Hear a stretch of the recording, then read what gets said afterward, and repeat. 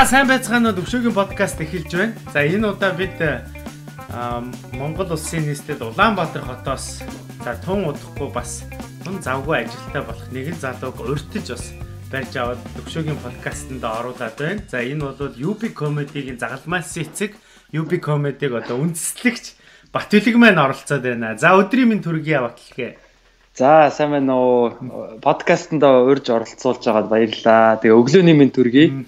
Хоёлаа чи дэлхийн одоо хоёр захаас яриад шүү дээ. Энд бол энд бол 2 цаг болж байна. Энд одоо өглөө болж байгаа. Тий. За тэгээд за сонин сайхан юу байна? Наагур чинь юу болж байна? Шинэ жилийн уур амьсгал гэж жигтэйхэн байгаа үстэй. Тий, энд одоо байгууллага хамт олон найз нөхөд шинэ жилүүдэд тэмдэглээд тий, ер нь бол хүмүүс их тийм баярын наастартай байна. А тэгтээ яг хөө мэдээж нөгөө одоо үйлсэл тэгэл утаа тэгээ гадаа одоо төгжрөл ачаал гэж яг хөө мэдээж байдаг нөгөө асуудлууд нь байж байгаа. Тий. Гэхдээ яг хуу тийм яриад яг хуу угаасаа хангалттай ярьж байгаа юм чинь тий. Тий. Улс орны хувьд бол ер нь тэгэл залуучууд би ч одоо өөрөө одоо манай тоглолтууд бол их хэсдэг байгаа. Тийм тэгээд а саяхан бас Европоор яваад ирсэн. А Швед Стокгольм тоглосон, Лондон, Манчестер гээд одоо Америк руу бас маргааш явах гээд. Одоо юма бэлдээд үе. Зүг саваа бэлдээл. Тий. Хүмүүст бас нэг хэдэн бэлэг мэлэг авах аваад. Тий. За, Европоор сая анх удаа ирсэн үү? Өмнө нь ирсэн байсан уу тойроод явхад? Аа, миний хувьд бол анх удаа. Тий. Тэгээд Европын ихтэй зөвхөн одоо Шведэд тий. Тэгээд одоо Англи руу явсан. Яг нөгөө их газрын Европоор бол явсангүй. Тий. Тэгээд Тэг яг Шведд бол анх анхны одоо Европын орн байлаа миний хувьд. Ямар санагдав? Төсөөлж яснаас өөр юм уу? Одоо нэг лаг төсөөлөл бол бас байгаагүй. Яг одоо сайн яг мэдээ зураг хөрөг юу видео эднэр бол харж ирсэн. Яг очиод яг тэр уур амьсгал цаг агаар тий а тэгээд одоо бид нэр өдрийн одоо үдээс хойш 4:30 гэхэд буусна. Аа тэгсэн чинь нар жаргацсан байсан. Харанхуй болсон тий. Тэгээд энэ чинь нэлээ бас хойд туйлтайгаа ойрхон одоо Скандинавын орн тийм одоо нар жаргадаг юм байна тий. Тэгээд уур амьсгал нэг таалагдсан. Гоё тийм чиглэг мөрчлөө тийм сэрүүхэн. Тэгээд тийм хүмүүс нь бас юу санагдсан шүү. Яг швед хүмүүс өөрсдөө их тийм их ухамсартай, лаг мундаг хүмүүс юм шиг санагдсан. Улс орноо их сайхан хөгжүүлсэн. Аа тэгэл зүгээр наад захын карантины усаа уудаг гэдгийг сонсоод тэгээ тэр нөгөө зис хоолойтой байдаг гэж хэлсэн шүү дээ. Тийм, тэгээ карантинаасаа шууд усаа уудаг, тийм. Бараг зис аягнаас ууж байгаатай. Тийм шүү дээ. Тэгэл тэр ус чинь ингээ мөнхөд тэр зисэн дунд л байгаад байгаа байхгүй тэр чинь. Аха. Тэгээ дээрэс нь хамгийн сондон би тэрийг сонссноо тэр зиснүүдийн чинь бараг 40 50% нь Монголоос ирж байгаа зэлсэн шүү дээ. Оо тийм үү? Оюутлогоосоо. Тийм. Монголоос ирдэг Эрдэнэт Эрдэнэс ирж байгаа тийм. Тийм. Аха. Тэгээд идэх чи уус даяараа хоолоогоос ис болгоцсон учраас шивэдийн өнцөг болон бүрт карантинаасаа шууд усна. Аха. Оо за за. Бүр эмчнэр нь тэгдэг гэсэн шүү дээ.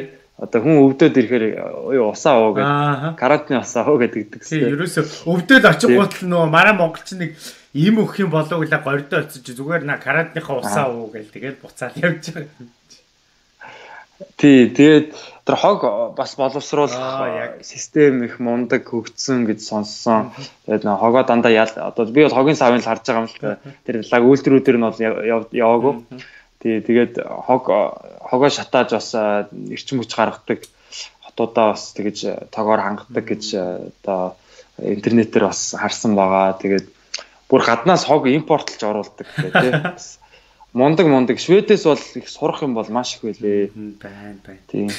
Ер нь бол ингээд нөө гадны нутагт амьдарч байгаа монголчууд үчи ингээд үзэж харсан юм аа, сурсан мэдсэн юм аа ер нь ингээд дотроо өөрөө л хадгалаад яваад байгаа ш. Аль болох хүмүүст ярьж аль болох ядч л хамаатныхаа 5 хүндээ хэлэх ёстой юм шиг надад санагдсан ш. Тийм. Тийм шүү дээ. Тэгээ танах нь танаа гэр бүлж гисэн одоо тэрийг гоё блог байдлаа тийм хичээгээл ажиллаад байна шүү дээ. Тийм шүү дээ. Монд тэрийг бол их одоо бид нэр хараад одоо монголчууд маань их үзэж та хоёрын одоо тий гоё гаргаж байгаа контентуудыг бас их сайхан таашааж хүлээж авдаг байгаа. Тэгээд ер нь тийм контент одоо маш их дутагдж байгаа юм шиг санагдтыг. Монголчууд Монгол контент. Тийм. Тэгэхээр одоо бит хоёрын ярилцлага ч гэсэн бас хүмүүст одоо дутуу нөгөж байгаа гэж. Тийм. Тэгээд цаашдаа бас уриалмаар байна залуучуудыгаа бас гоё байгаа газраа ч гэсэн гоё сонирхолтой сонио ачин зүйлсүүдээ бас хуваалцж байгаарэ тий. Тийм шүү дээ. За тэгээд шивэд дэж байгаа шууд англи руу очисан. Би англи руу ерөөсөө очиж үзээгүй л дээ. Очих хэсэг гэсэн аюул их бодол өвөрлөөд яваад байгаа юм. Ялгаа байна уу? Гид өөрчлөгдөж гин үү? Эсвэл адилхан л байна уу? Чамд яг ямар санагдсан? Оо шал өөр. Аа англи бол бид нар ч шууд Лондонд атсан. Тэгээд Швед бол их тийм тайван улс юм шиг санагдсан. Тийм сэрэг, сууршилтай. Аа Лондонд буусан чинь бид нар ч яг нөгөө хотын төвд нь буудалд буугаад тийм тэгээд бүр өстой бүр бужигсан бүр шал өөр нөгөө уур ирч хүчтэй уур амьсгал одоо хүмүүс нь ингээл хурдан алхсан те тэгээ нөгөө Английн тэр одоо Лондонгийн тэр төв годомжуудаар нь явах бол үнэхээр гоё байсан тэр тэр дээр үеийн байшнуу те бүр 1700 800 оноос хойш байсан тэгэл нөл түүх ерөөсөө алхам тутам болон болгоно л ерөөсөө түүх байгаад түүхтэй англи чи ямар ч мундаг одоо дэлхийн одоо том эзэнт гүрэн байсан улс яахын аргагүй л тэгээд баялаг түүхтэй байдаг юм лээ. Тийм. Тэгээ Big Ben-ын засварт орцсон байсан. Өө тийм үү. Гадуураа ингээд тийм тийм каркад юу тавиад тийм 20 он хүртэл засж байгаа гэж хэлээ. Оо за за за. Тийм. Тэгээд яг тэр газруудаар нь явсан бас манай монголчууд ер нь бас гоё оюутан залуучууд ихтэй. Ажил төрөл их сайн хийдэг залуучууд. Шведийн монголчуудаараа бас их бүр ингээд амар гоё санагцаа яг тэнд тэг ихэнх нь одоо баг бизнес эрхэлж байна тийм ерөөсөө тий одоо энэ хоолны газрын сүшиг бол ерөөсөө яг ингээ бадцсан байдаг юм байлээ. Будагаач базаад сүшигийн чи юу байгаад бизнес Тийм үү будааг нь бас гөө гөө гөө сүшинийхэн будаагч базаал тэгэл одоо сүшинийхэн бизнесийг базаал бизнесийн ч базаа тий. Тийм. Тэгэхээр бас мундаг санагдсан шүү. За. Тийм. За одоо тэгэл Америк руу явах гэж байгаа. Америк руу өмнө нэг явчаад ирсэн баха тий. Тий, өмнө явж гэр бүлэрээ бас өмнө зүгээр яг энэ комеди гэдэр хийж эхлэхээсээ ч өмнө бас одоо ээж аваахаа ач буйнаар тий явж явж үзчихсэн. Тэгээ тэр одоо комеди хийхэд нөлөөсөн бас зүйл бол яг анх удаа яг 13 онд яг гэр бүлэрээ Америк явсан. Тэгээд Лос Анжелес хотод очоод яг нөгөө яг жинхэнэ Америк тийм нөгөө комеди шоу амьдаар нь үзээд ер нь юм боломжтой юм биш үү тэгээд их бодож ирсэн. Тэгээд Америк бол ерөөсөө кино шиг санагдчихсан л да анх очиход бол Лос Анжелес хот ялангуяа тэр Холливуд яг тийм. Одоо тэр чээс гол киноны гол цөм дээр очижсэн ба шүү тий. Тийм шүү дээ. Одоо дэлхийн дэлхийд одоо Америк гэдэг брендийг 100 жилийн турш одоо сурталчилж байгаа тий тэр том а одоо индустри кино индустрийн одоо үлгий хотод очоод тэгээ бид нар чи анх яг онгоцны буудлаар буусан чинь яг бидний урдуур ингээ Snoop Dogg алхчихсан. Snoop Dogg зүгээр ингээл зүгээр би амгалагчтай гал би би чи бүр юу вэ кино кино юу би зүудлээд байна уу гэж бодоод тий тэгээд их нүд нээсэн л те тэгээд тий их гоё орон юм шиг санагдсан. Гэтэ мэдээж бас аюултай л да. Бас аюултай үед аюултай. Бас ер нь бол хүнд орон. Шведийн хажууд бол бас шал өөр л дээ. Ястаг гай. Тий, назгаа орон. Назгаа орон юм бэлээ. Юу Батүлгээ өөрийнхөө нөгөө юу байгаа зү аккаунт ингээ доош нь олгочих. Тэгэх юм бол хоёулаа дэлгэцэн дээр хоёр хуваагдчихна. Тэгвэл чи нүүр ингээ тал гарч ирээд. Аа. Оо за sorry sorry. А за одоо одоо чи яг харагдаж байгаа. Одоо яг надад харагдаж байгаа шиг чи надад өөрт чи харагдаж Аа за. Окей. За одоо хоёлын одоо төвшөөгийн подкаст нөгөө ирчүүдэд зориулж хийж байгаа. За тийм аа Батүлэгч бас нэг Монгол бас нэг жинхэнэ ирэх хүн байна да нэг нэг жинхэнэ хүн. Тэгээ. Сайхан Монгол ирэх хүний талаарх өөрийнхөө бодлыг нэг чи нэг давчгаан хэлээч те. Ер нь яг юу гэж бодтгийг Монгол ирчүү чи бас ингээ зөндөө олон орноор явж үзлээ. Бас аха. Бас л одоо чамгуудад бас тэр орныхоо улсуудтай харьцаж бас ингээл ажиглаж харсан бах те. Ер нь бол манай Монгол ирчүүдийг тэдрээс нэг ялгагдах онцлог нэг энэ юм байна да гэсэн өөрийнхөө бодож авсан дүгнэлт хийсэн юм байна. За одоо яг за Монгол ирэх хүн гэхээр бас яг сайн бас бодож байгаагүй юм байна. Тийм. Гэхдээ аа ер нь энэ тэнд явж байхад зөв Монгол хүмүүстэйгээ уулзахад бол айгүй гоё сэтгэлээрээ гоё тусалдаг юм шиг одоо манай монголчуудыг хоорондоо их бие биендээ их гоё юм сэтгэлээсээ байдаг юм шиг санагддаг шүү дээ. Тэгээд гоё тусалсан хүндээ тусалдаг. Аа тийм тэгээд ер нь манайхан хараад байхад манай залуучууд их тийм юу энэ тэнд очсон хааж очсон ер нь одоо гадаад дэлхийн хааж очсон а нэг тийм амар муу дороо яваад идэв юм. Тий. Ер нь бол нэг тэр улс орныхоо нэг дундаж хүмүүсийн төвшөнд бол одоо баг доотлон тэгээд явж идэг тий. Ямиг их хурдан сурдаг. А ер нь гадаадд байгаа монголчуудаас одоо ярихад бол тий энэ очиод нөгөө тэр нийгмийн давхарга давхаргад нь их одоо одоо дараа дараагийн үед нь бол бүр улам дээшлээд явах ба. Тий эхний үеийнх нь хар ажил хийжсэн бол дараагийн үеийнх нь арай бизнес эрхэлдэг болоо тий. Бидний дараагийн үеийнх нь одоо яадаг ч юм бүр тэр нийгмийнхаа одоо дээгүр явдаг ч юм уу. Ер нь манайхан ч их тийм өсөх сэтгэлгээтэй юм шиг санагдсан шүү дээ. Энэ энэ тэнд очиод аа тэгээ Монгол ир хүн гэхээр одоо аа хүн болгонд л одоо өөр өөр байдаг. Яг нэг тийм манай ч нэг тийм Captain America гэдэг шиг бас тийм нэг тийм баатар дутагдаад байгаа юм шиг. Аа яг тий. Тийм. Тийм. Гэхдээ яг миний одоо яг аа бодож явдаг гэх юм уу тийм бол яг одоо Чингис хаан Чингис хааны бас түүх амьдрал ямиг одоо хий хоосон одоо нөгөө нэг аа гэж аархах шүү дээ. Яг тэр хүний амьдрал амьдралыг аа тэгээд дотроо төсөөлөөд тэгээд одоо Чингис хаан ямар одоо Чингис хаан байсан бол яах вэ гэдэг шиг тийм тийм байдлаар бол би боддог. Одоо Есүс Есүс байсан бол яах байсан бэ гэдэг нөгөө христийнхэн бас тэгж ярьдаг. Тэрэн шиг одоо би ямар нэгэн альва асуудал тулгарх те бэрхшээлтэй үед одоо Чингис хаан байсан бол яах вэ гэдэг юм уу. Тийм а юу юу гэдэг лээ.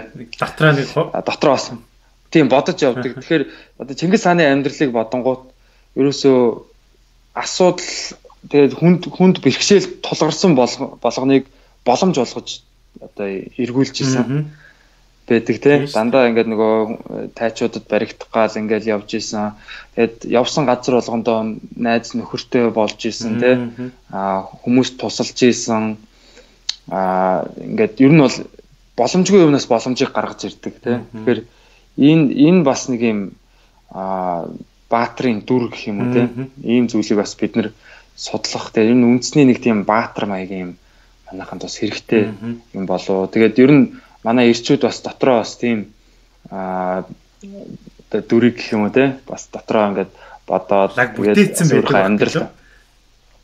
а ер нь тийм юм бас нэг юм юу байх хэрэгтэй юм шиг байна? Нэг тийм дээр нэг юм замцлах нэг од маягийн те? Дээрээс ингээд яг нэг тийм тэрийга бодоод за Чингис хаан гэдэг стандартаар бид нэр Чингис хаан гэдэг ахаар заавалчгүй нөгөө нэг алж талаал ингээд байхгүй те. Яг тэр хүний тэр философи юу байсан те.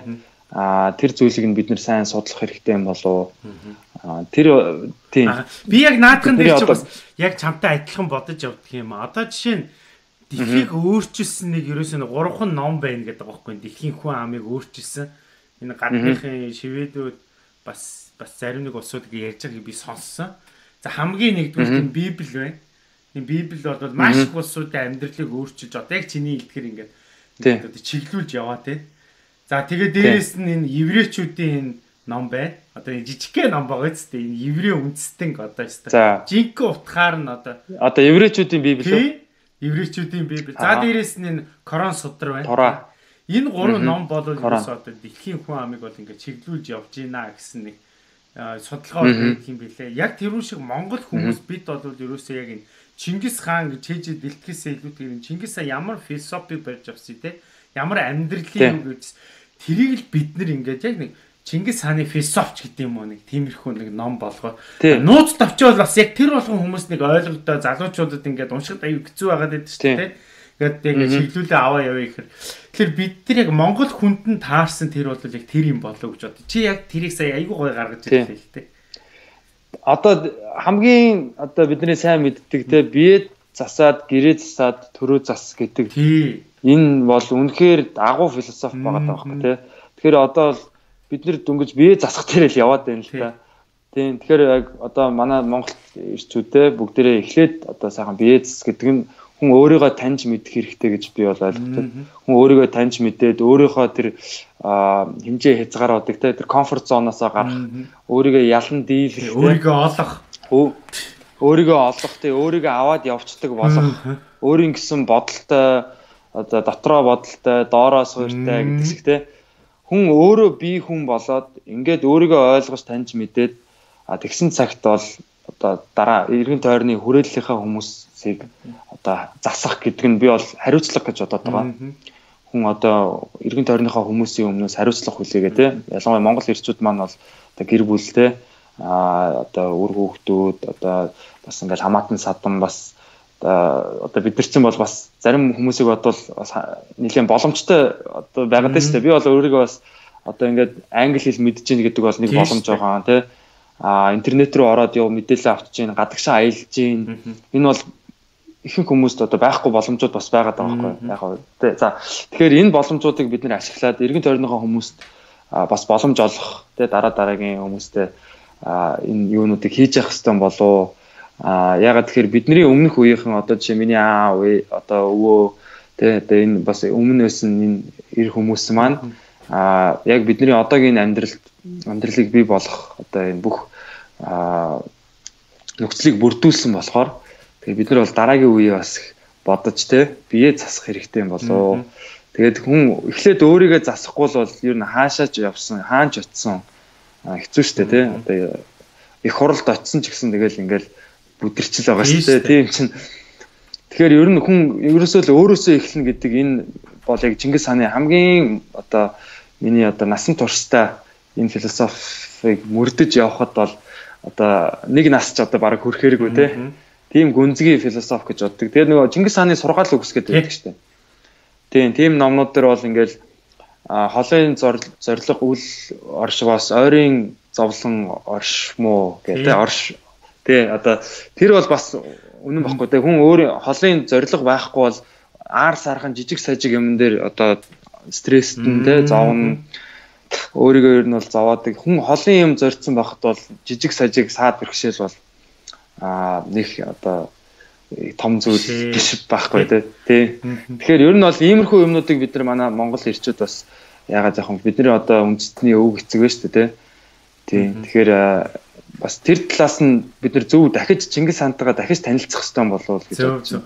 Би бас олон ирчүүдээс бас яг Монгол эр хүн гэж яг юу хэлэх вэ? Чиний бодлоор юу байх вэ гэдэг. Хамгийн бас нэг айгүй айтайхан ер нь бол одоогийн байдлаар хамгийн яг зөв тал руу нэг чиглүүлж тайлбарсан бол манай Батүлийг одоо сонгогдлоо. Баяр хүргэе. Оо за баярлалаа. За тэгэхээр би бас Батүлийг бас хувьдаа бас айгүй үнэлдэг юм аа. Яагаад вэ гэхээр маа Батүлийг чи за би Батүлийг бол хамгийн анх нөгөө авиаслыг монголчуудаар ороод тэгээд тэр тайзан дээр шал өөр юм хийгээд а би бол тэрийг бол мэдчил байсан л та. Гэтэ би бол комеди гэдгээс илүүтэй маа жүжигчсний одоо энэ төрөл жанрт бол яг энэ хийдэг юм бол байдаг. Тэр тусмаа орсууд бол юм ганцаарчсан юм одоо энэ тоглолтыг энэ ярианы комедийн юуг бол хийдэг. Тэгээ манай хичээл дээр бид нар заадаг байсан. Аа тэгээд би яг энэ чиглэлээр одоо ингэж авиас одоо юуг үзүүлж байгаа хүн байна да гэд харж исэн байхгүй. Тэгээд хамгийн гол бахарч байгаа юм нь юу вэ гэхээр ингээ уухгүй яг энүүгээрээ хичээлж явсаар байгаа өнөөдөр манайх UB comedy гэдэг энэ одоо төрөл жанрыг яг үндэ бол чи энэ төрөл жанрыг монголчуудад мэдүүлсэн юм багхгүй. А өмнө нь бол яг залуучуудад энийг бол яг хуу байдаг байсан. А ганц хоёр хүмүүс бол яг жүжигчд бол энэ чиглэлээр ингээ хаяал нэг номер үзүүлдэг байсан. Тэгтэл энүүгээр ингээ уухгүй явсаар байгаа өнөөдөр монголчуудад чи болон танаа хамт олон болвол мэдүүлсэн. Тэгэхээр бас энэ ууггүй нэг юмдаа ингээд зүтгэж энэ чанар болоод бас тэр болгон хүмүүст бол байдгүй зан чанар. Тэр Батилэгт бол энэ байдгийн болов гэж би хараад байдаг. Тэгээ чи бас нэг нэг өөрийнхөө нэг ууггүй нэг юм нэгэ зорьсон болвол тий. Ингээ ууггүй явж чадаад идэг. Энийхээ одоо өстой нэг нууц байдаг бол тэр нууцыг нэг хилээч маа залуучуудад тий бас энэ уухгүй явах хичээл зүтгэлээ явах үр дүн гаргаад ямар байдгийг бол чамаас харж байна танаа хамт олноос харж байна энэний үр шим нь амт нь ямар байдгийг нэг сайхан нэг хорхоог нь гозолдуулж чинь яриад гач. За баярлаа. А одоо ингээд яг 10 19 оны 1 сард 1 сарын 30-нд манхайг 5 жилийн ойгоо тэмдэглэж байгаа. Одоо анх яг нөгөө Basement гэх клуб comedy open mic гэд хийжсэн. Тийм тэгэхэд бол эргэн тойронд одоо тэр одоо клубд манай одоо одоогийн эхнэртэй а тэр үе найз охин одоо маа найз нөхөд тийм л хүмүүс байжсэн нэг 10-аад хүн л байсан. Тэгээд тэгэж эхэлж исэн. Аа тэгээд UB comedy гэдэг бол ерөөсөө нэршил. Одоо би бол тэрийг эхэндээ бол UB comedy гэдэг нэрээр эхлэегүй. Эхний нэг 2 3 сар зөвхөн comedy open mic гэдэг. Тэгээ нээлттэй микрофон, инедмийн одоо нээлттэй микрофон гэдэг нэршлэр явж исэн. Тэгээ сүүл рүүгээ бас за энэ их хотын одоо Улаанбаатарын инед гэдэг маягийн тэ UB comedy гэдэг нэр өгч исэн. А төрөл төрөл жанр нь бол төрөл нь бол энэ ошин урлагийн одоо stand up comedy тийм stand up гэдэг төрөл байгаа. Тэгээ нэг хүн одоо ганцаарчлсан монголоор бол аман шок гэх юм уу? Тийм, аман шок гэдэг одоо би энэ нөгөө шок зохиолын номноос уншиж байсан. Тэгээ тэр энэ аман шок гэдэг бол их гоё тохирсон нэр монгол нэр юм болоо гэж. Яг stand up comedy-г орчуулж хэлвэ шүү дээ, тий? Тийм. Тэгээд за уухгүй гэдэг тал дээр бол яалтчгүй би энийг ерөөсө багасаа л тийм байсан юм билээ. Би одоо ингээ өөрийгөө бодоод байхад аа бүр ингээ ухаан орсон цагаасаа л нэг юм алиа марцсан байсан юм билээ. Ангидаач ингээ нөө тий ангидаач тэр тэгэл хүүхд хүүхдүүдийг инээлэх юм багштай их ер нь багш нартай ер нь их загнуулдаг байсан. Одоо нөгөө багшийн анхаарлыг багш руу очих хэвээр анхаарлыг би дундаас нь ингээд аваад идэх юм уу те. Тэгэхээр нэг тийм жоохон мардсан л хүүхд байсан юм байлээ багасаа. Тэгээ тэр тэр нь бол одоо миний яг унган тийм одоо юу гэх юм уу зан чанар гэх юм уу тийм одоо хүмүүсийг хөгжих хүний анхаарлыг татах тийм дуртай. Тий. Тий тэгээд а би чинь юу бизнесийн сургууль маркетингаар сурсан. Манай ээж аваа одоо чам бизнес сурах хэрэгтэй. Ер нь хүн яасан ч Энэ бол би манай ээж аав хоёр хоёлоо бас одоо хувийн өөрсдийн бизнесүүдтэй. Тийм болохоор ингээд намайг бизнесийн сургуульд оруулаад а тэгээ тэр дундаас би маркетинг илүү бас нөгөө бүтээлч юм болоо илүү креатив маркетинг юм болоо гэдэг маркетингээр сурж төгсчөөд нэг хэсэг бас би телевизэд ажилласан. Тэгээд телевизэд ажиллаж байгаа тийм үндэсний телевизэд ажиллаж байгаад тэгээд туслах найруулагч өдргээд ажлууд бас зөндөө юмнууд сурсан. Тэгээ ерөөсөө одоо ингээд би ч нэг хэсэг DJ хийж исэн, гитар тоглож исэн, телевизэд одоо монтаж хийдэг байсан. Тэ. Тэгээ энэ бүх бүх юмаа хийж агаад тэгээ би ерөөсөө яг энэ комеди гэдэг юмд маш дуртай байсан байхгүй юу?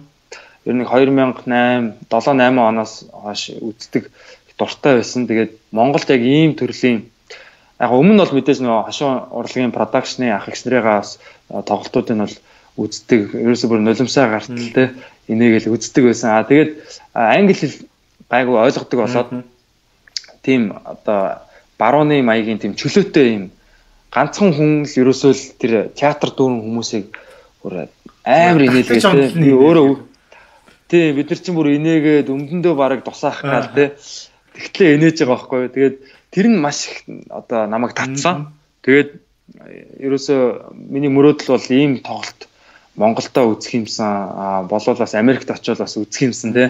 Яг тэр клубт нь очиж үзэх юмсан гэдэг тийм мөрөөдөлтөй болсон байсан. Тэгээд а яг 14 онд л ерөөсөө за ажилласаа ч гарсан телевизээс ажилласаа гараад тэгээд яг өөрөө жоохон юм хийж үзье гэж бодоод тэгээд нэг клубт л DJ хийдэг байсан. Тэр Basement гэх клубт. Тэгээд тэр DJ хийдэг байхдаа тэр клубын менежер залуутай а одоо ярилцаад санаагаа хэлээд нэг ийм зүгээр хүмүүс ирээд оролцоод ярьдаг те ийм шоу хийж үзмээр байна. Шоу ч гэхдээ нэг нээлттэй микрофон. Тэгээд миний гол санаа зориг байсан ийм байсан байхгүй юу? Би өөрөө зохион байгуулад тэг хүмүүс хүмүүс хурж ирээд яриад те би өөрөө баг үзэгч шах уу?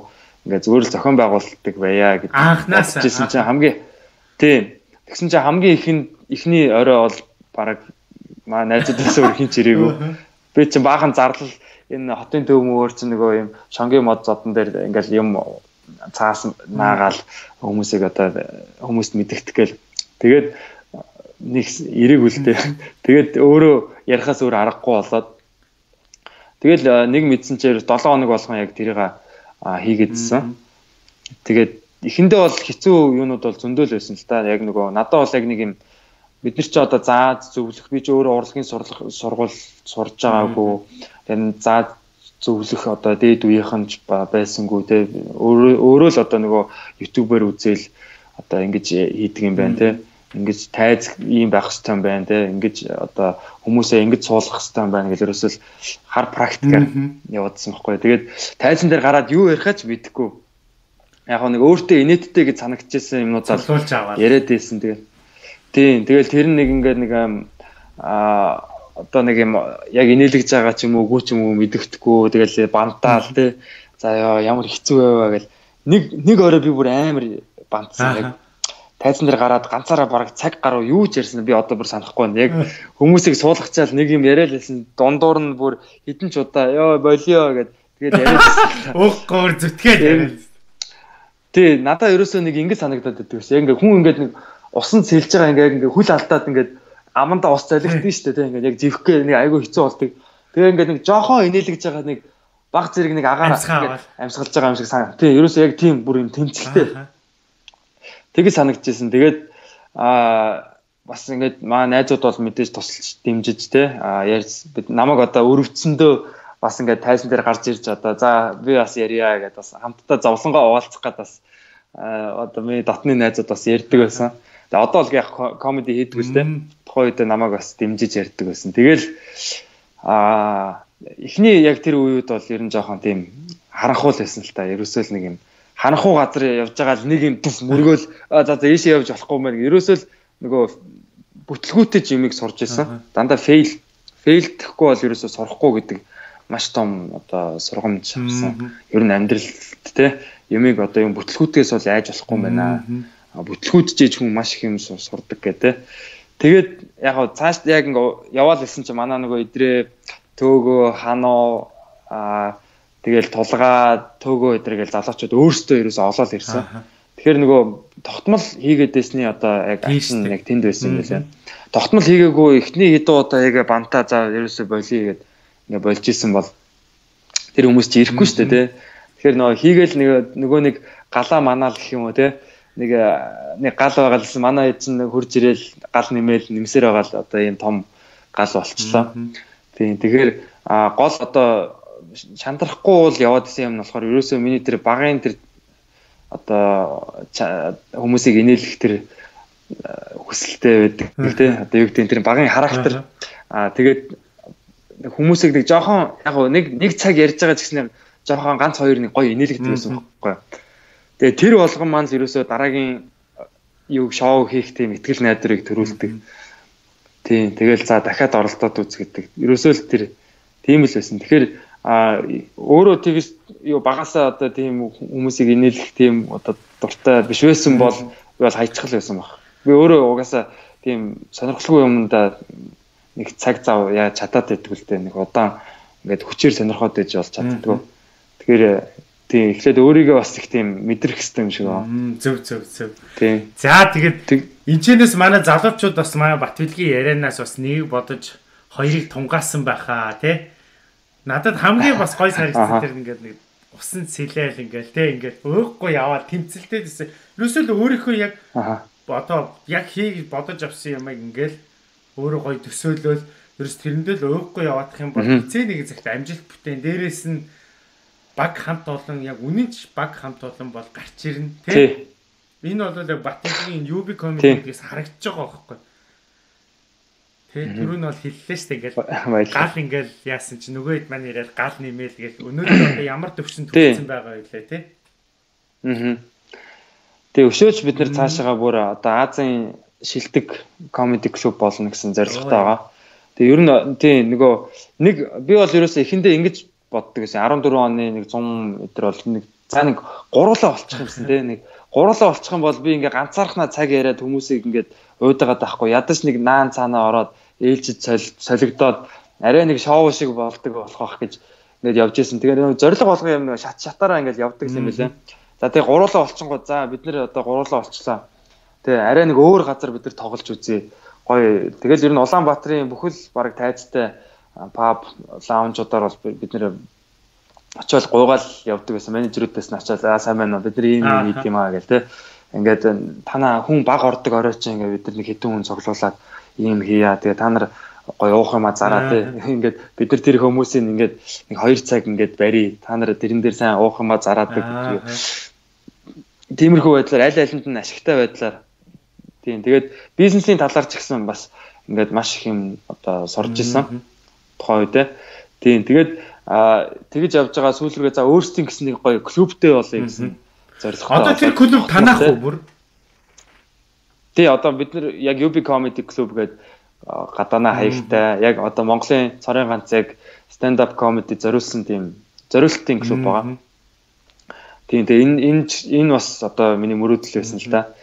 Тэгээд би өөртөө бас тийм юу нөгөө подкаст сонсож байгаад тийм нөгөө зорилгоо ингээд цаасан дээр бичих маш чухал гэдэг зүйлийг бас сонсож байсан. Тэгээд би 22 настайдаа аа яг өөрийнхөө одоо нөгөө юма бичдэг дэвтэрэн дээрээ би 25 настайдаа өөрийн гэсэн комеди клуб нэн гэд ингээд биччихсэн. Миний одоо тэр дэвтэр байдیں۔ Тийм тэгээ биччихсэн. Тэгээ би яг яг 17 онд ч яг 25 тайсан л та. Тэгээ яг яг 25 наснда яг яг UB comedy club гэд нээжсэн. Тэгээд сая 18 он дахид засвар хийгээд нэг улаан юм уутай дотоод цэцэлтэй болгоод илүү томруулсан л та. Тийм. Тэгэхээр яг 26 хүрэхээс өмнө яг бүр яг гоё том болооч тогтчуулаад тийм. Тэгэхээр ер нь нөгөө өөрийнхөө зорилго юмыг бас ингээд гоё бичиж явах хэрэгтэй юм лээ. Тийм. Тэгээд одоо тэгээд ер нь зорилгоо ингээд ер нь яа гэж бодож байна. 10 жил, 5 жил эдийн дараа. Аа. Тийм. Одоо бол ер нь сая манай авьяаслаг монголчуудын одоо финалд манай амаржаа орлоо шүү дээ, тий. Тэгээ айрагдлаа. Бид нар бол их сайхан бэлгшээж байгаа. Тэгээд аа амарчангаараа их бахархаж байгаа. Одоо а жил хагасын өмнө яг манай нээлттэй микрофоноор орж исэн байхгүй. Бид нар чинь даваа гарыг болгон нээлттэй микрофон гэж залуучуудтай юм а нээлттэй юм хөтөлбөр зохион байгуулдаг. Тэгээ хинч нэрээ бүртгүүлээд оролцож болдог. Тэгээ тэрүүгээр амарчин хотоо гэд хоёр залуу хоёроосоо хоёлаа зэрэг л ороод ирсэн. Тэгэл хоёлаа өстө мундаг авиастай. Тэгээд амарчин сая энэ жил бүр ингээд финалд ороо те. А ер нь бол монголчуудад одоо энэ аман шог одоо те энэ ганцаарчлсан энэ төрөл бол одоо хошоо урлагийн маш одоо том ийм одоо entertainment ийм төрөл юм байна гэдгийг ингээ хүлээн зөвшөөрүүлчлээ. Тэгэхээр яг бүр одоо олон нийттэй те яг авьяаслаг монголчууд бол монголчуудын одоо хамгийн том шоу Монгол телевизэн хийдэг.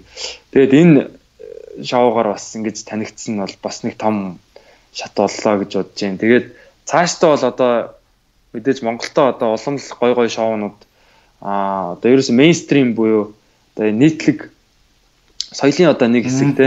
Ерөөсөө л нийт ерөөсөө л одоо нэг маасал талах гэдэг шиг комеди бол ерөөсөө тийм одоо хүн болгоны хэрэглээ гэх юм уу одоо үздэг тийм үзэр болох тийм зорилготойгоо улам чанартай болгох. Аа тэгээд бид нар нөгөө Asia's Finest гэдэг одоо а юу Аз руу одоо зориод байгаа. Тий. Одоо Чингис хаан ч улсаа нэгтгэхэд ерөөсө гадаад бодлого явуулсан шүү дээ. Тэр шиг л одоо одоо бага бол гадаад бодлого. Тий. Дараагийн том зорилго бол а одоо ер нь дэлхийн од Монгол комедиан гэдэг тийм зорилготой байгаа. Манай одоо манай хамт олон дундаас ч юм уу те ер нь Монголоос нэг юм дэлхийг инээлгдэг англи хэлээрээ одоо хэвээр ус цас ярьдаг те Тэгэхээр одоо Монгол гингүүд дэлхийд одоо ямар ойлголт байдаг вэ те маш дутмаг байдаг. Аа тэгээд баруунд бол ер нь бол одоо бараг л barbarian гэдэг юм уу те ер нь бол нүүдэлчин хөдөө мал одоо яг нэг тийм аа тийм ойлголттой байдаг. Аа гэхдээ Монгол хүмүүс гэдэг чинь бас юм аа хашигн чаддаг те хүмүүсийг одоо манайхныг бол Оросууд бол бас хайр найргүй хийдэн шүү дээ. Ер нь яг Оросын комеди клуб дээр. Тэгэхээр одоо юу гэдгийг бид нар бас дан цохиулаад байж болохгүй байхгүй тий. Аа бас тийм зөрүүлээд бас жимхдэг юм шиг ядсан тий. Зогтгүй байх гэдэг. Тий.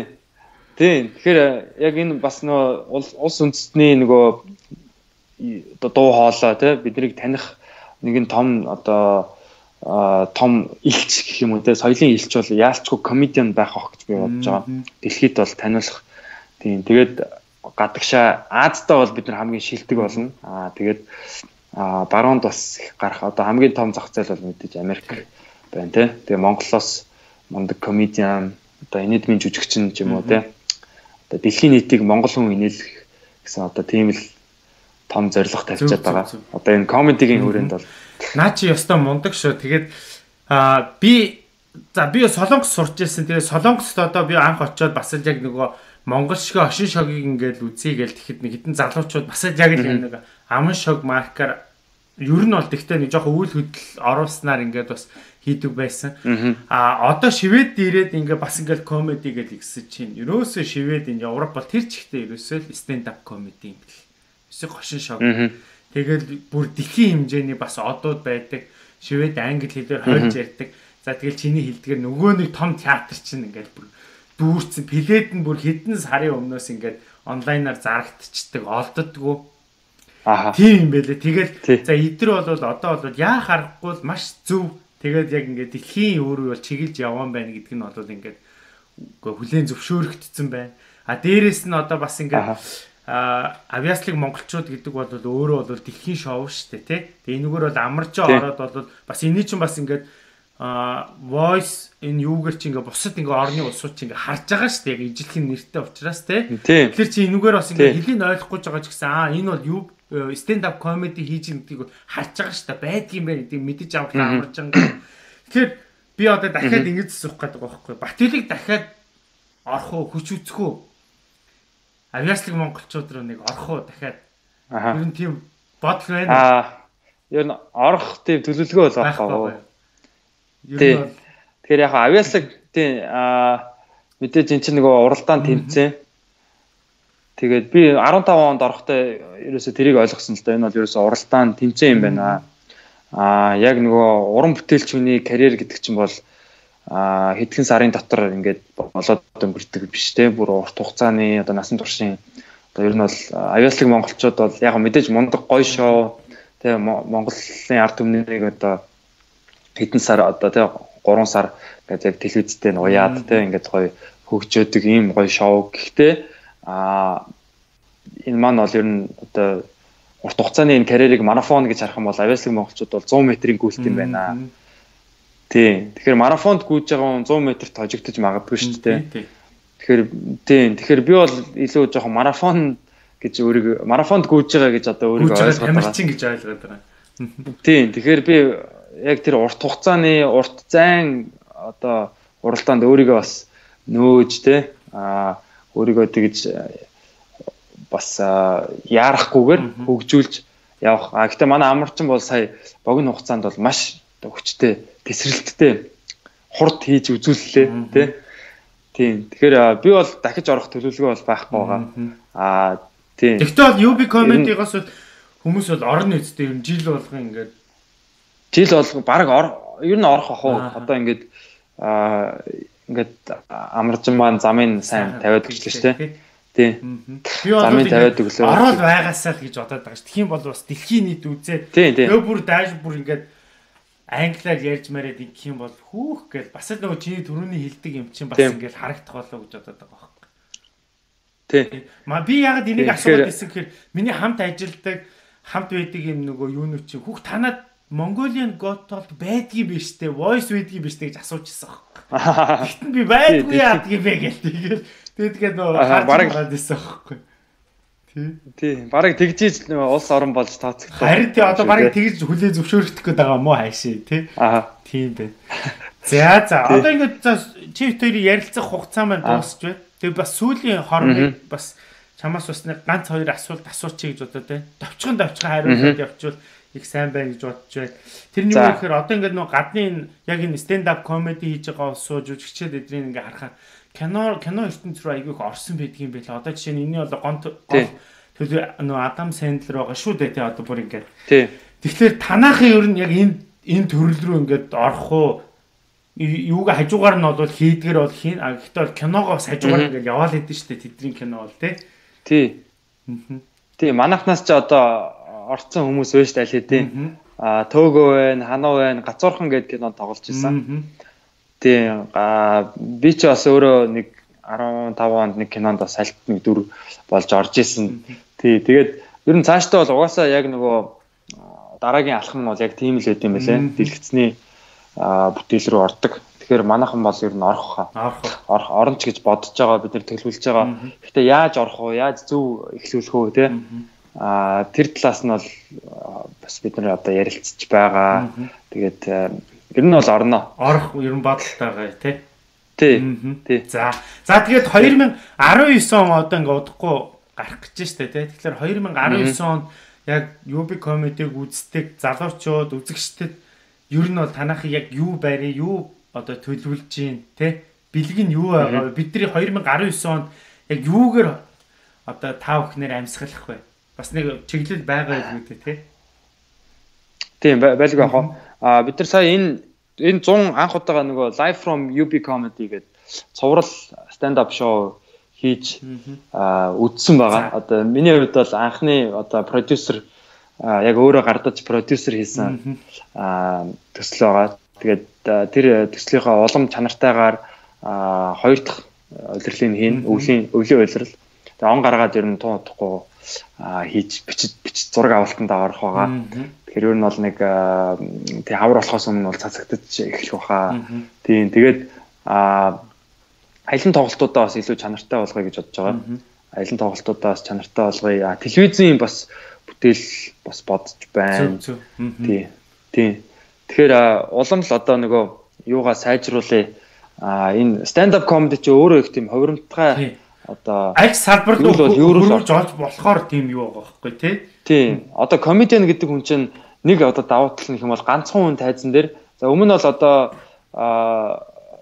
хошин шогийн жүжигчин те шог зохиолч, найруулагч ингээд продюсер гэдэг ингээ хүмүүс байдаг байсан бол энэ хүмүүс ч одоо ганцхан хүн болчиход байгаа байхгүй. Тэгэхээр нэг хүн бол маш олон юм хийж байгаа болохоор Адам Сандлер те одоо тэр хүмүүс чинь өөртөө жүжиглээд, найруулад, зохиолоо бичээд ингээ продюсерлаа те ингээ яваад байгаа. Тэгэхээр бид нар бол одоо яг 19 онд бас яг тиймэрхүү юмнууд бас бодож байгаа. За шин шин залуучуудыг бас гаргаж ирж гоё шоунууд бас хийх тийм бодолтой байна. Ер нь бол төлөвлөлтсөн л байгаа л да. За тэгвэл тийм тэгээд 19 онд бол бид бол маш их зүйлийг бол бас харах нэ бас телевизийн бас шоугаар бас гарч болох нь шүү дээ тий. Тийм телевизийн шоу гэхдээ яг яг мэдээж нэг яг юу болцсон яг цаасан дээр бол ингээ бичигдсэн байгаа бол биш. Тийм гэхдээ тийм нөгөө а ер нь гадаад амьдарч байгаа монголчууд руугаа чиглэсэн гоё контентууд гаргая гэж бодсон. Сая Шведэд очиод ингээл явж хат манай одоо бидний машинаар тосч авсан залуу ингээл машинаар барай явж хата хажуу талд нь ингээл монгол нэвтрүүлэг ингээд утсан дээр нь гараал те. Тэгэхээр ер нь одоо гадаад байгаа манай монголчууд маань бол ерөөсө монголынхаа контентоор их дутаж цангаж байдаг юм байлээ. Тэгэхээр илүү бас тийм гоё контентууд гаргая гэж бодож байгаа. За баярлалаа. За тэгээд одоо нэвтрүүлгийн төгсгөлт нь чи нэг сайхан залуучуудад нэг чи нэг залуу хүн байна да нэг сайхан нэг нэг сэтэлжүүлсэн сайхан урмын үг хэлээд өнөөдөр дуусгахыг гэж бодож байна. За аа тий одоо яг би бас байнга одоо урам яаж ингэж тийм хийдэг болохоорс яг үгүй яг өөрийнхөө бодож авдаг нэг залуучуудаа нэг энийг нэг хэлчихсэн ч гэдэг юм уу эсвэл тийм үгч байж болно шүү дээ тий Маа залуучууд ингэж гоё болох гээд байна манайхаа ингээл те. Аа. Тийм. Тэгээ залуу хүмүүс одоо ер нь жоохон юу ах хэвээр аа юу гэдэг лээ.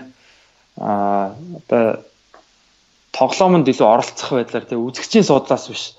Тоглоомонд оролцох те. Тоглоомонд оролцох гэдэг нь ер нь амьдрал өөрийнхөө амьдралыг гартаа аваад аа яг угаасаа ганц л амьдарч байгаа шүү дээ бид нар чинь. Тэгээд энэ амьдралдаа бид нар яг ямар мөр үлдээмээр байгаа хүмүүст яаж нөлөөлмөр байгаа тэр зүйлүүдээ ер нь бол яг сайн бодоод өөрийгөө таньж мэдээд те миний давуу талууд яг юу юм тэр давуу талаа ашиглаад тэрийг шууд үйлдэл болох хэрэгтэй. Тэгээд ер нь бол тэгэл өөрөөсөө л эхлэн штэ хүн болгон те а хичнээн их асуудлууд байна. А би одоо яг энийг за энийг хэлээ. Энэ амар гоё. Би өөрөө ингэж боддог байхгүй юу? Ерөөсөө энэ ямар ч асуудал байна те энэ утаа за одоо бидний одоо яг Монголд Улаанбаатарт бол хамгийн том асуудал байна тий. Энэ утааг утаа утааг арилгахын тулд би ямар нэгэн зүйл өөрийн гар биеэр оролцож а энэ шийдэлт нь хувь нэмэр оруулаагүй л бол би энэ гомдлох ямар ч ирэх байхгүй надад. Би тэр асуудлыг шийдэхэд хувь нэмэр оруулаагүй л бол тий яг жихнээсээ бодит хувь нэмэр штэ зүгээр комент бич лайк шеэр биш тий яг гар бие оролцож хувь өөрийгөө одоо ингэж тэнд одоо зориулаагүй л бол а гомдлох хэрэг бол юу ч байхгүй. Ерөөсөө ерөөсө гомдолж болохгүй. Тийм болохоор а залуучууд бол яг энэ зүйлд одоо ерөөсөө бидний үеийн гол сорилт бол энэ л болчиход шүү дээ. Бид нар одоо дараагийн үедээ яг ямар юу ямар улс их орон одоо хүлээлгэж өгөх юм те. Тэгэхээр ерөөсөө бид одоо энэ байгаа бүх асуудлуудыг шийтгэл одоо үүрэгтэй шүү дээ бид нар чинь те. Бидний өмнөх үеийнхэн бол бас яг ингээл бас ээж аав нар маань одоо яг нэг шилжилтийн үе яг энэ одоо хоёр нийгмийн шилжилтийн үеэр ингээл биднийг аваад өсгөөл гаргасан те. Тэгэхээр яг бид нар ч гэсэн үр хөвгтүүдтэй одоо ямар юу бэлгэлэх үү те. Цэвэр агаар бэлгэлэх үү а эсвэл ийм асуудлуудаа шийдэж чадахгүй хоорондоо хэрэлцээр байгаад ингээд яг тэр хэвээр нь уламд ордуулад өгөх үү гэдэг бол ерөөсөө бидний гарт байгаа. Тийм тийм болохоор тийм болохоор бид нэг энэ тоглоомд бол гар би оролцох хэрэгтэй гэж бодож байна. Тэгээ залуучууд бүгд дор дороо нэг нэгдэхгүй те. Ганцхан хүн би одоо ганцхан юу хийж чадах вэ гэдэг. Тий тэгж ерөөсөө болохгүй. Бид нар угаасаа цөөхүүлээ. Бүгдээрээ оролцохгүй бол болохгүй. Тийм Тэгээд ер нь бол өөрөөсөө л эхлэх хэрэгтэй. Тийм. Тэгээд өөрийгөө сахилгажуулах хэрэгтэй. Өөрийгөө олох хэрэгтэй бас. Тийм, яг өөрийгөө нэг сайн толинд харж байгаа те. Би гэдэг хүн чинь ер нь яг яах гээд байгаа юм гэдгийг бас ойлгох хэрэгтэй шүү. А гадаадд байгаа залуучуудтай бол би бас сая явж байхад ер нь а одоо бас зарим залуучуудтай ярьж байхдаа бол ингээл Монгол тийм их асуудал болоод байхад би ингээд эмчээ ингээд ажиллаа хийгээд байгаад идэх те. Тэгэхээр над би бас жоохон гимшээд байна гэдэг гэсэн тиймэрхүү юмуд бас ингээд сонссон байхгүй юу. Тийм. Тэгвэл би бол гимших юусоо хэрэггүй гэж бодож байна. Ягаад тэгэхээр аа өөрийгөө аваад явж гин гэдэг чинь бас том зүйл байхгүй юу. Ер нь бол те өөрийгөө аваад явчихж байна. Тэр улсын оронд бас аа одоо нэг юм доошоо орчихгүй те. Сайн ажил хийгээд баялаг бүтээлцээ те. Хүүхдүүдэд эрүүл сараал өсгөж гин гэдэг бол маш том хувь нэмэр гэж бодож байна. Аа тийм. Дэлхийд даяар амьдарч байгаа монголчууд бол нөх амар бас монгол руугаа бас хит бас яарад хэрэггүй. Тэнцэнэ сайхан хөлөө олчих те. Сүбэр олчих те. Тэнцэнэ мөнгөтэй болоод юу гэдгийг тийм болцоод дараа нь одоо тэнцэнэ бол угаасаа асуудал одоо юу гэдгийг өөрөөсөө ингээд яг зэгцрэх бах тий. А яг мэдээж энэ чинь бол бид нар тоглоом дотор ингээд алцаал байж юм л та. А гэхдээ тэр гадаад байгаа залуучууд маань бол сайн ажиллаа сайн хийгээд уртгаа сайн ягаад дараагийн үе Монгол хүүхдүүдтэй монгол хэлээ за монгол улс их орн одоо хайртай болох тий. А тэгээд тэх юм бол тэр хүмүүс чинь тэртээ тэргөө эргэж ирээл улс орноо босголцсон. Тийм болохоор а нэг амир гимшээд байх хэрэггүй тий. Тийм тэгээд энд бол угаасаа асуудал зэгцэрнэ гэж бодож байна. Угаасаа яаж яж байгаа л хүндрэлтэн тэгэл хүмүүс л юм чинь тэгэл аргаа болно шүү. Тийм ээ. За за. Бат илгтэйгээ ярьсан чинь Бат илгтэйгээ ярьсан чинь нэг сайхан болчлоо. Өмнө нь бас хүмүүс бас Бат илгийг бас тайзан дээр комеди хийж байгааг хараад бас нэг өөр бодолтой байсан бол өнөөдөр бас төвшөөгийн подкастаар ороод илүү их яг Батбилэг гэж хин бэ? Дотроо яг энэ хүн яг юу бодож тунгааж явдгийм бэ гэдэг талаар бас мэдэж авсан болов уу? Ойлголттой болсон болов уу гэж бодож байна. Аа тэгээ Батбилгийн сая ганц надад бас хэлсэн. Хамгийн гоё одоо амьдралын энэ тайзан дээр та үзэгч байх уу? Тоглогч байх уу гэдгээ та өөрсдөө шийдээ тий. Үзэгч байсаар байгаа өгөх үү? Яаж хийж байгаа? Яг нэг удаа ч гэсэн тайзан дээр гараад өгөх үү гэдгээ тэр бол танаас өөрсдөөс шалтгаална гэдэг маш гоё зүйлийг ойлгуулж хэлж өглөө. Энэ бол маш зөв шүү. Тэгээд тэр утааны тал дээр хилдэг чинь бас зөв тий бид нар өөртөө оролцохгүй байж ажил гомдлоод байна гэж байхгүй үстэй тий. Тий. Тэгэхээр энэ бүх юмыг бүх энэ том мэдээж бидний гадаа ингээд яг биднээс шалтгаалаагүй бас асуудлууд бас байгаа шүү дээ тий. Тэгээд тэр болгоныг бид нар өөрсдөн дээр хариуцлага гэж юу хүлээж авах юм бол их зөв юм байл шүү. Хариуцлагыг төлөх биш. Хариуцлага хүн хүлээх тусам хүний одоо юу гэдэг юу н хүрээнд тэлдэг те улам одоо том болдог. Тийм. Тэгэхээр эхлээд өөрийгөө хариуц, бие засаад дараа нь гэр бүлээ хариуц те. Тэгээ дараа нь улс орноо хариуц. Тэгээ яг энэ дараалалаар яваарай. Зөв зөв зөв. Гэрээ засаагүй байж төрлөө дайрахгүй шүү. Бие засаагүй те. Тэг их орноо засах гад дайраад идэх шүү гэдэг. Тий, тий. Тэгэхээр тийм тэрийг бас бид нэр ойлгох хэрэгтэй. Манай ирчүүд бас аа Монголын сайхан ирчүүд байна те. Монгол эр хүн гэдэг одоо энэ зүйлийг биднээс өндөрт өргөх ёстой шүү. Тийм болохоор наантаж одоо би бэлтраа хөгжүүлэхдээ Монгол эр хүн гэхээр л одоо арх тамхи үнэрсэн ч юм уу те ингээл гүзээ яасан ч юм уу. Тийм байж болохгүй. Бид нар ягаад гоё цэмбгэр гоё Монгол ирчүүд гэхээр нэг юм бие бэлтэр чангарсан те нэг юм ажлыг хийдэг те одоо тийм гэр бүлээ сайхан аваа явцдаг.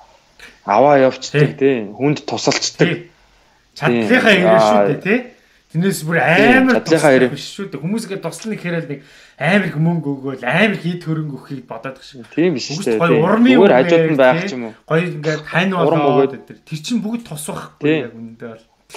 Нэг найз руугаа уцаар ярьцдаг ч юм уу те. Сайхан тиймэрхүү зөвлөд чинь маш их одоо сэтгэл санаанд бол дэмтэй. Тий. Тэгээд манай ирчүүд бол мундаг шүү. Тэгээд аа дотроо одоо ингээ гадаад орчин ийм одоо аимшигтай байгаа үед те одоо Улаанбаатарт байгаа монголчуудаа ярьж штэ те. Гадаад орчин ийм аимшигтай байгаа үед бид нэр яг дотоод энэ юугаа одоо өөрсдийнхээ дотоод сэтгэл зүй бие бие нэгсэн бид нар улам улам хамгаалах хэрэгтэй юм шиг санагддаг тийм. зөв зөв тийм. Тэгэхгүй бол энэ одоо бас одоо юу гэдэг депрессмэр юм бол зөндөө байна шүү дээ яг үнэндээ. Тий Тэгэхээр бид нар энэ депресс одоо хүнийг одоо сэтгэл готролд оруулахгүй тул бид нар дотроосоо сайн байх хэрэгтэй. Дотроосоо юм дархлаатай байх хэрэгтэй юм шиг сэтгэл зүйн. За за тэгж бодож. За ингээд өнөөдөр юугаа подкастаа өндөрлөе. Тэгээ та бүхэн хамт байж сонссонд баярлалаа. Тэгээ дараагийн подкастаа эргээд уулзцгаая. Баяртай. За баярлалаа төшөө. За тэгээ Монголд очиж сайхан уулзнаа. Танаа хамт олонтой нэг сайхан ярьж сууя гэж би бодоод байгаа шүү дээ. Нэг сайхан нэг Тэгэл та хизээ ирэх вэ? Тэр нэг он гараад удахгүй очино. Тэгэхээр нэг уулзъя гэж бодоод байгаа. За тэгээ